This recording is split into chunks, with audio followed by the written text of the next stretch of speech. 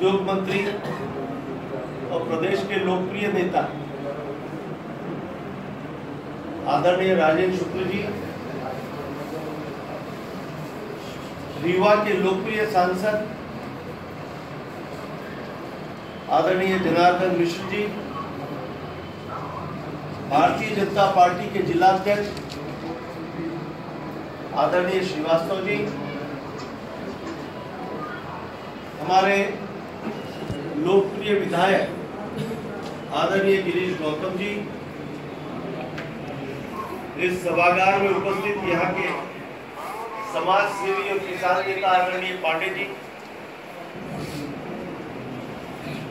प्रांतीय कलाकार संघ के श्री राजेश शुक्ल जी और यहाँ पर आए हुए सभी कलाकार साथी।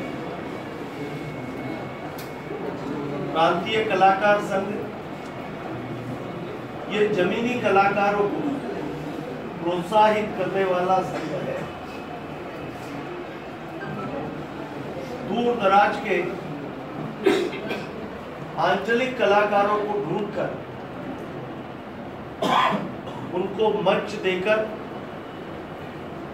उनके कला को उकेरने का काम प्रांतीय कलाकार संघ कर रहा है। हमारी कला हमारी संस्कृति कलाकारों के माध्यम से ही जीवित है। कला के अनेक आयाम हैं। उन आयामों में प्रांतीय कलाकार संघ की तरफ़ से नाटकों का मंचन है, गायन कला है, वादन कला है और शायद नृत्य कला भी है। इन सभी विधाओं को जीवित रखने का एक महान काम प्रांतीय कलाकार संघ कर राजेश जी के पिताजी जो अभी संसार में नहीं रहे, एक संत स्वरूप व्यक्ति थे। और उन्हीं के माध्यम से मैं प्रांतीय कलाकार संघ के परिचय में आया। आज से सात आठ साल पहले सपना में एक कार्यक्रम हुआ था। तब आपके पिताजी ने मुझे वहाँ पर बुलवाया। और उसमें ए के सिंह जज साहब, उनकी पत्नी और अनेक कलाकार। मैं बहुत देर तक वहाँ पे सुनता रहा। विगत वर्ष जब मैं यहाँ आया तो आदरणीय राजेश शुक्ल जी से मैंने आग्रह किया कि कलाकार सिर्फ़ पैसे का भूखा नहीं है। कलाकार को एप्रिसिएशन चाहिए।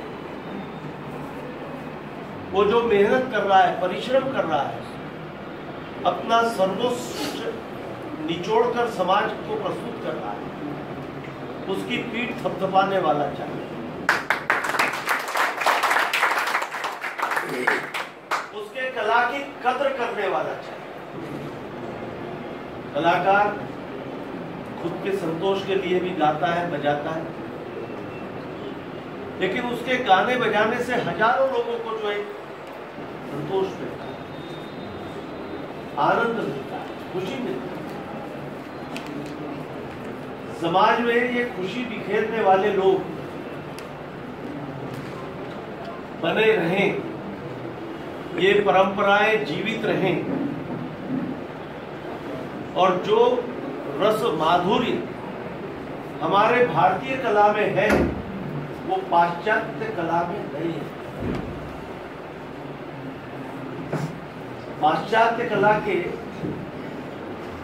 कलाकारों की कला देखकर, उनका गायन सुनकर, उनका वादन सुनकर, वो भाव मन में नहीं जाता जो हमारे भारतीय कलाकारों के गायन, वादन को देखकर जागता। है दोनों कला में फ़र्क है।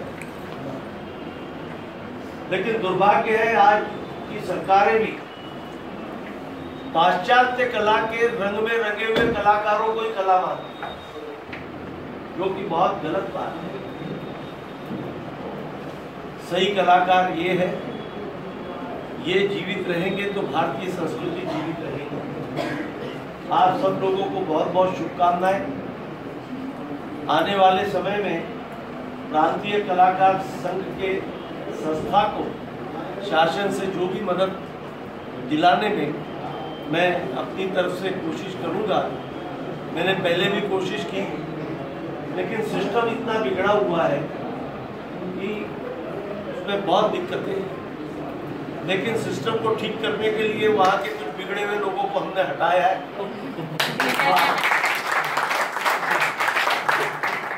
हमने मुख्यमंत्री के संज्ञान में लाया कि ये फर्जी लोगों को लाखों लाखों मिल रहे हैं। जिन्होंने कभी तबले पे हाथ नहीं रखा, वो लाखों लेके जा रहे और जो रात दिन गा रहे हैं, उनकी तरफ़ ध्यान नहीं जा रहे।